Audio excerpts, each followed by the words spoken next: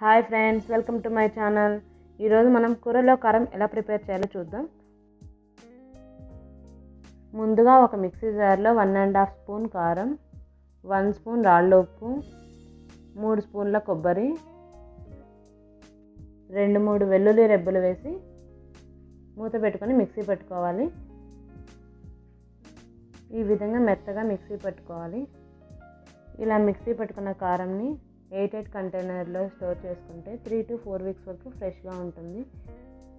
ఇది బీట్రూట్ బీరకాయ వంకాయ ఆలూ ఫ్రై ఇంకా రెడ్ చిల్లీ పౌడర్ వేసుకునే ప్రతి ఒక్క కర్రీకి పర్ఫెక్ట్గా సెట్ అవుతుంది.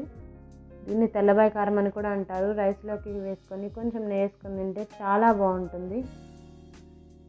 నా వీడియో కానీ మీకు నచ్చినట్టయితే లైక్ చేయండి నా ఛానల్ని సబ్స్క్రైబ్ చేయండి.